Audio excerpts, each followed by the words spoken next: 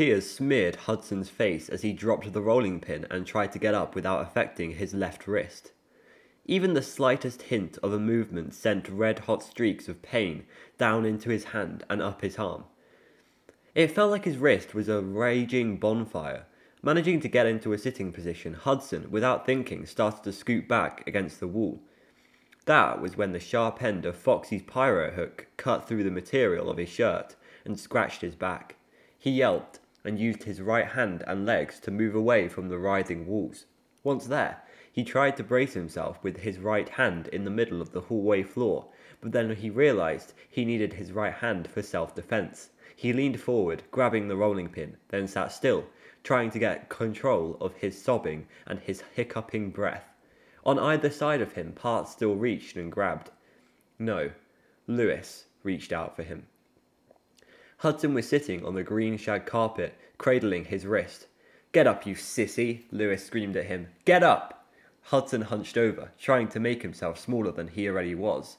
Between his knees, he saw the black and white floor.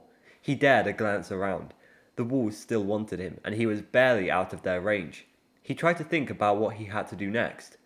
He looked around for the knife. It was a few feet down the hall. He didn't have the strength or the will to get it. On reflex, he turned his left wrist to look at his watch, and he screamed loud enough for the sound to echo through the building.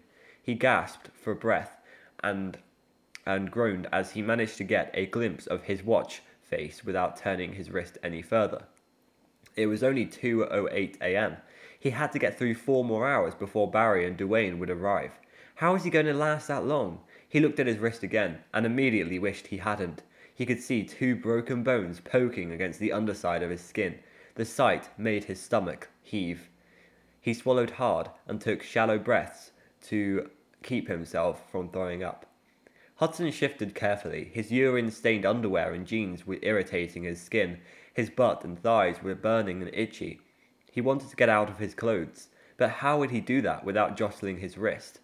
Maybe he could just stay where he was for the next four hours. Yeah, it would suck to sit on the hard floor with pee saturated pants and a broken wrist. But wouldn't trying to move be worse? Hudson nodded to himself and wiped his eyes with his right hand. His heart rate began to slow down. Making that decision had calmed him somewhat. It had taken the pressure off. Things weren't that bad, he told himself. Yes, his wrist had, was badly broken, and he'd have to go through all that pain again when he got it set. But at least it was his left hand and a little pee in his pants never kill anyone. He was going to be okay. You're nothing, a voice said. Hudson sucked in his breath and looked around. Less than nothing, the voice said. Hudson reacted without thinking. He dropped the rolling pin and started to put both hands down so he could prepare to stand. Again, his scream did a tour of the building. Fresh tears ran down his cheeks. Stop it! he shouted. He wasn't sure if he was yelling at himself about forgetting he had a broken wrist or if he was yelling at the noise, at the voice. High pitched and nasally, Lewis's voice was unmistakable. So the so was the way he said nothing. He never made the th sound. His version of nothing sounded like nutting. You're nothing but smoke, the voice the Lewis voice said. Hudson grabbed the rolling pin again and waved it in front of him uselessly. Then he tucked the rolling pin under his arm and bent over to cover his right ear with his right hand. Thankfully, he remembered not to use his left hand, but that meant that when the voice spoke again, saying, You're nothing at all, Hudson could hear it just fine through his uncovered left ear. Go away, Hudson begged the voice. He knew it wasn't going to go away, so he wasn't surprised when he heard the Lewis voice say again, Nothing, nothing at all. He was surprised, though, when he turned toward the sound and saw the decayed rabbit animatronics shuffling down the hall toward him, staring intently at Hudson. The thing's mouth was moving. Nothing, it said. Less than nothing. Nothing but smoke. and again, nothing. Less than nothing. Nothing but smoke. It was still Lewis's voice, but it was coming through the dreadful broken teeth of the rotting animatronic. Hudson tried to shift in preparation for standing without moving his wrist. It didn't work. He had to move his left arm to get his right arm in position to push himself into an upright position. Uh, the pain brought it with a wave of nausea. Hudson bent over, but the sound of the animatronic taking another clicking step forced him to move again. Nearly hyperventilating, Hudson stood, his back to the wall. Behind him, hands and arms brushed against his shoulder braces, uh, braces? Blades. He quickly stepped away from the wall, and he almost lost his balance. His legs felt weak. He was swaying like a sapling in the wind. He looked at the rolling pin lying on the ground. He couldn't bend over to get to it. Move, he told himself. You've got to move. He made himself look at the advancing animatronic, and that's when he saw the knife. The knife got him to move. The animatronic was only a couple feet from the knife. Hudson had to get to it first. Lunging forward, ignoring the pain in his wrist, Hudson was able to snatch up the knife just before the animatronic reached it. He took a step back and brandished the knife ahead of him. The animatronic kept advancing. Hudson took another step back and waved the knife through the air. The animatronic's pace didn't falter. Hudson swung the knife wildly, back and forth, uh, and back and forth. The animatronic was on him, reaching for him, clawing at him, and suddenly the knife blade sliced through Hudson's bicep. Hudson screamed, turned, and ran as scorching pain erupted in his arm. Warmth trickled down his bicep, through the crook of his elbow, and from his forearm to his injured wrist. Nothing divided in half is nothing, Lewis's voice called out behind Hudson. Hudson nearly tripped and fell. How could he have forgotten? Lewis, the real Lewis, had said that very thing to him when Lewis had slashed Hudson with a knife just before the fire. The knife was the reason the fire happened. Why had Hudson suppressed that memory? It didn't matter now. Nothing mattered except getting away from the robot corpse thing that was after him. He forced himself to move down the hall, but his steps faltered and he had to grab the wall for support. One of the animatronic mouths bit his right forearm and he screamed, once again moving away from the wall. He had to get out of this hallway. He started running, stumbling, staggering, weaving, but trying to stay in the center of the hall. Every jarring step was pain filled, but he kept going. Reaching the far corner of the hallway, Hudson looked over his shoulder to see how close his pursuer was. He slid to a stop. No one was behind him. The hallway was empty and its walls were still. Well, it wasn't completely empty. A bloody but, uh, butcher knife lay on the floor near where Hudson was when the animatronic slashed him. Or did it? Had he imagined it? He looked down at his arm.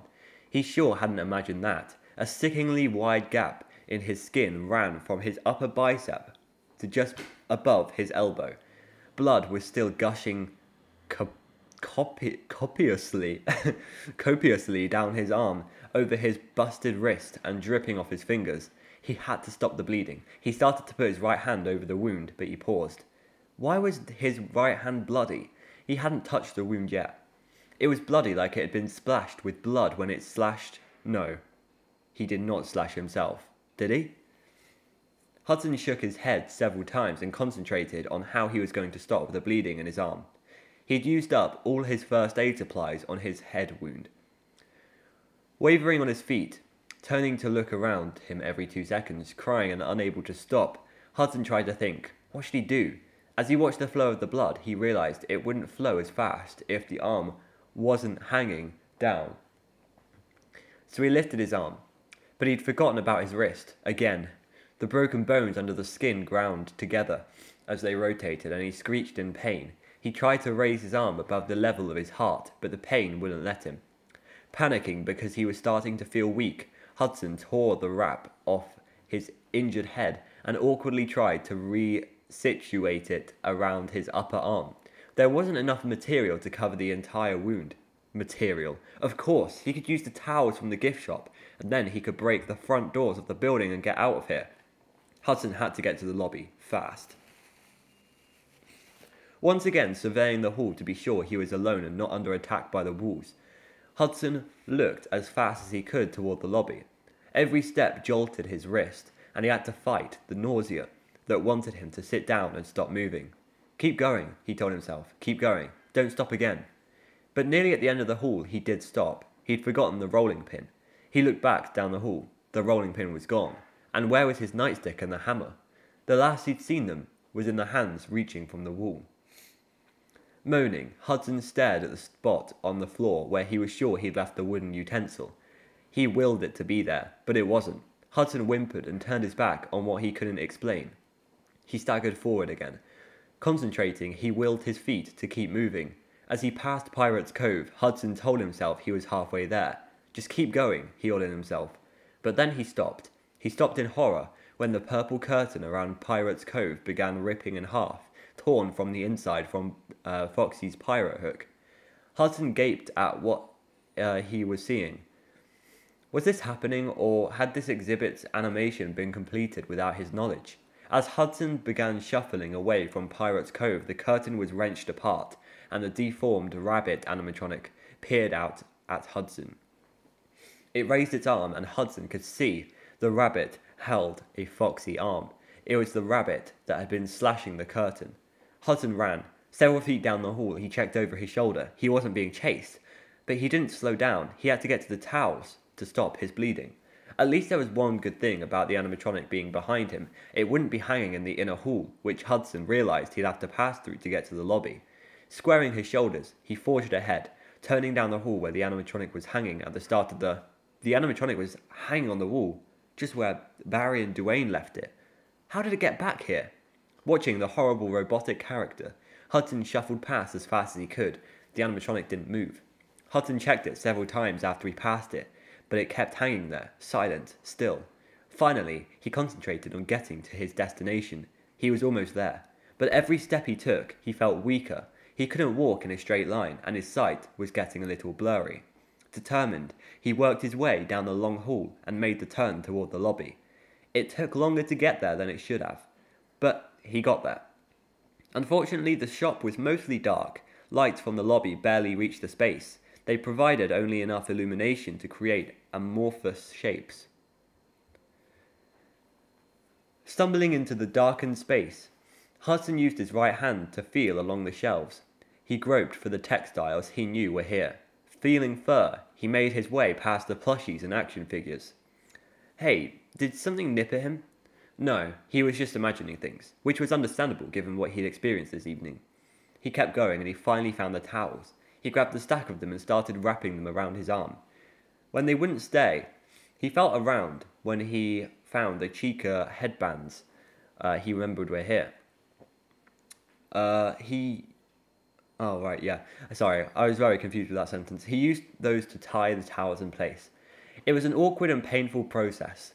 He had to keep moving his arm to position the towels and the bands, and every time he did, his wrist protected in blazing, um, in blazing blasts of pain. He gritted his teeth, hissed out his breath, and kept working on wrapping his arm. Finally, he finished. Now for the front door. Still weak, but encouraged by the process he'd made, uh, Hudson thought about what was in the gift shop. What could he use to break the glass door? Sporting goods. Hadn't he seen a baseball bat in here? Hudson took a step forward, where he thought he'd find a bat, but a loud fluttering sound stopped him. He squinted into the darkness. He saw movement. What was that? He couldn't tell, but he could tell the movement was advancing his way. He backed out of the gift shop. He was nearly out of the gift shop when he smelled something that made him throw up all over the floor. He couldn't help it. It was a reflex. He smelled black cherry pipe tobacco. And now he smelled the acidic stench of vomit. You gonna mess your room, boy? Lewis bellowed. You can just stay there and breathe it in. Hudson wa- wavered on his feet, staring in amuse- uh, sorry, not amusement, amazement, while Lewis stormed around his room and gathered every toy Hudson had ever owned. Piling them, lining them up, Lewis created a barrier at the doorway of Hudson's room.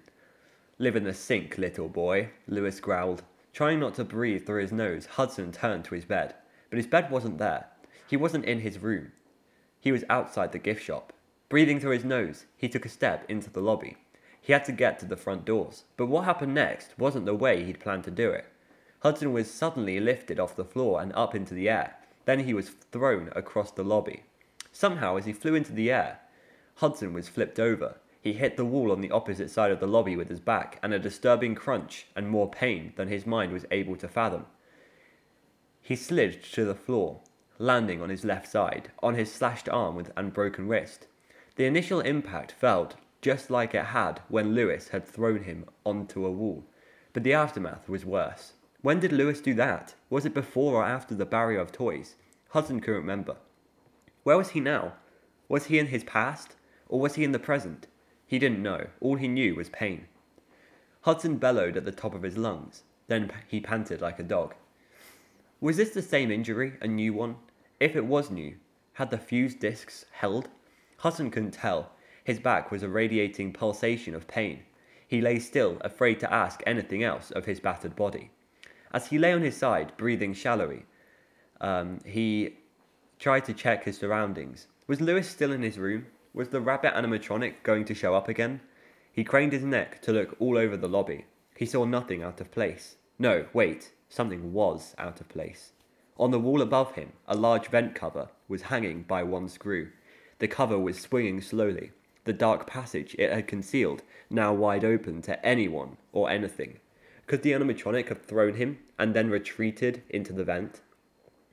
The sickly scent of cherry pipe tobacco hung in the air again. He had to get away from the horror in this building.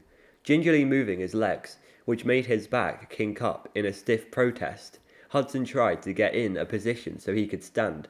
No matter how much it hurt, he couldn't just lie here and let the animatronic or whatever was tormenting him make its next move. He needed to get to the doors. Hudson turned to look toward them. He gasped. No way, no freaking way. He blinked, rubbed his eyes with his right hand, and looked again. Yes, he was seeing what he was seeing. The doors were being guarded by the gift shop's entire supply of plushies and action figures. They were lined up and poised for action, and they were all watching him. Hudson stood and screamed. Oh god, this is creepy. His back felt like it was being torn in half. His wrist felt like it was filled with ground glass. His arm was pounding uh, out a staccato beat of intense, tortuous pain. He couldn't take much more. He had to hide. But where? He looked up and down the hall, stretching away from the lobby, and his gaze landed on the kitchen doorway at the far end of the left hall. Holding his breath, he took a step in that direction. He knew where he could go. Heat purges. He could hear Granny's voice in his head. Fire heals. The fireplace. He'd be safe in the fireplace. Lewis couldn't reach him there. Heat purges. Fire heals. Using these two phrases as a mantra, Hudson began shuffling toward the kitchen. Each step was a new ev- elevation of the pain. Each of his footfalls made him wonder if he'd make it. When he asked himself if he'd make it, he told himself heat purges, fire heals. Oh, wait. He's going to set the place on fire. He's going to set the place on fire because it's Fazbear's Frights. It, this is this is definitely where this is, this story is going. He's going to set the place on fire and and die. Uh, he didn't mean the words literally. He had no intention of heating anything or setting fire to anything. Oh wait, oh, but the words had reminded him of where he could hide. The words seemed to control his feet, so they uh, so they kept moving towards Hudson's destination. When he reached it, he stood in front of it and smiled. He wondered why he hadn't thought of this before. Hudson reached out with his right hand and tugged on one of the industrial oven doors. As soon as it opened, he gingerly climbed inside the oven. There he sat, stretched out his legs, and grabbed the door. He pulled it closed with a satisfying whoomp. Finally, he was safe. Or was he? As he huddled against the hard, cold walls uh, of the oven, Hudson's mind went black, uh, back, sorry, once again to the past. Safe was what he thought he was the night he wrestled the knife from Lewis and threatened the man with it. Leave me alone, he'd screamed. Never touch me again, I'll tell everyone everything. Lewis had laughed at him. Kid, you're not going to tell anyone anything. They'll think they know what they need to know.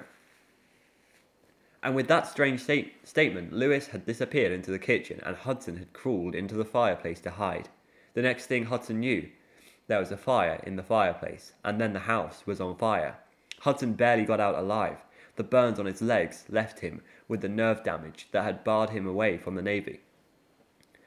He didn't set the fire, did he? He told everyone he didn't set it because he believed he didn't.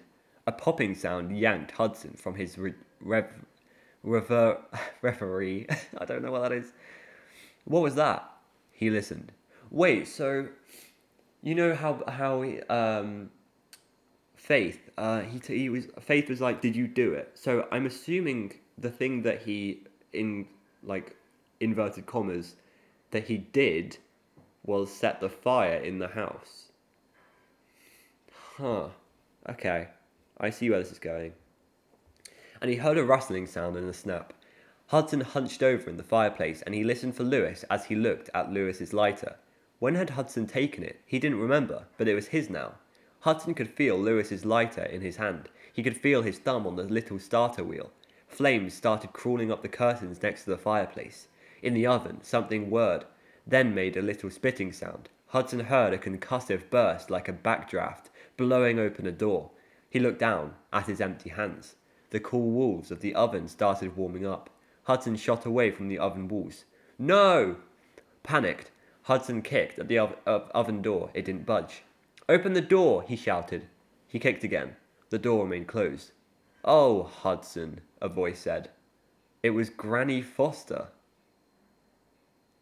Huh? Okay. Hudson looked around the oven and tried to see out through the thick glass opening in the door. He couldn't see anyone. Granny, get me out of here, Hudson yelled. Oh, Hudson. Granny's voice repeated. Her voice wasn't coming from outside the oven, it was inside, with Hudson. The oven got hotter. Hudson started to sweat. Help me! Hudson heard what sounded like a sigh rushing through the oven. Your path is your path, Granny's voice said, and the oven got hotter and hotter. I am so confused. I'm there's three pages left. Where can this go? I'm so confused. Okay. Okay. You know what I'm going to miss most when we start training? Duane asked Barry as the two men climbed the steps to the front of Fazbear's Frights. What? Barry pulled out his keys and unlocked the front doors. He was a little surprised he had to do that. Usually Hudson was down here already unlocking the doors. Your grandma's cooking, Duane said. Barry laughed, then sobered. I would have said that too, until I met Faith. That'll work out, Duane said as they stepped into the building. Where's Hudson? Barry asked. Hudson? Duane called. What's that smell? Barry wrinkled up his face. Duane covered his nose. Smells like something burning. Hey, did you hear about the fire at the circus? What? It was intense. Oh, I. Oh, come on. Come on. I, I thought he was going to talk about the circus baby Peter. uh, it was intense. Duane laughed loudly. Get it? In, in intense? Barry shook his head. Hudson, he called. They waited, breathing shallowly. No one answered. Let's go check the office, Barry said. The men headed down the main hall. They looked around as they went. Everything was the same as it had been when they left the night before. Same stacks of boxes, same animatronic they'd hooked to the wall. Duane bent over. I forgot to pick up this tooth last night. We can glue it back in. They went down the hall and leaned into the open door of the office. It looked normal too, but Hudson wasn't in it. Where the heck is he? Duane asked. Barry shook his head. Duane laughed. Maybe he finally got smart and left this crummy town. That wouldn't be a bad thing, Barry said. I'd miss him, but he could use a fresh start. Duane made a face. The smell is stronger down here. It's coming from the kitchen, I think, Barry said. Let's go check it out. As the two headed toward the kitchen, Barry said, I feel for Hudson. Poor guy deserves to have something go right. Ha. Huh. Okay. Okay. I'm confused.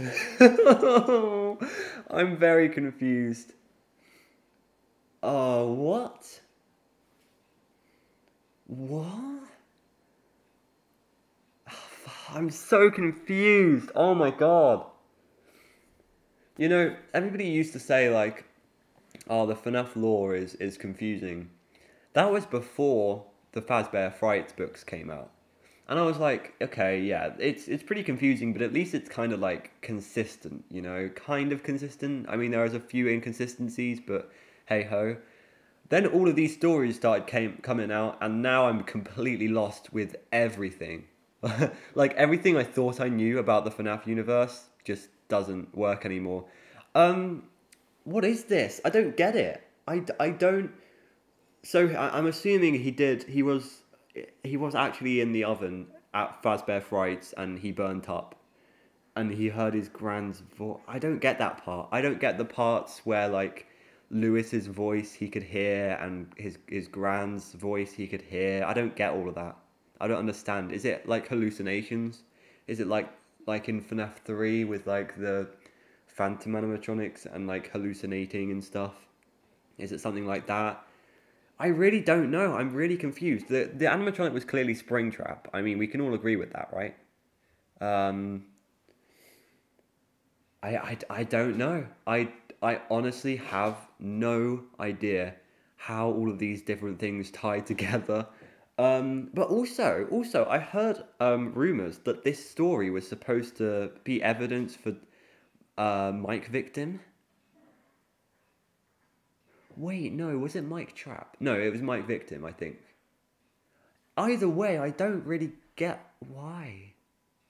uh, you guys are going to have to maybe explain in the comments, but I hope you enjoyed the audiobook. Um, this was this was a blast. Um, I'm so, I'm just baffled at how confused I am. Oh god. Okay. Well, thank you guys for watching. Uh, if you do enjoy these audiobooks, then make sure you subscribe so that you see more when they come out. Next time we are going to be doing the uh well not about the authors. Uh, we're going to be doing the next uh Stitch Wraith thingy, and it's only 39 pages long, so it'll probably be yeah. Yeah, I, I actually this I'm really excited for this Stitch Wraith because um I really I really want to see where this goes. Anyway, thank you so much for watching, and I will see you in the next one. Goodbye.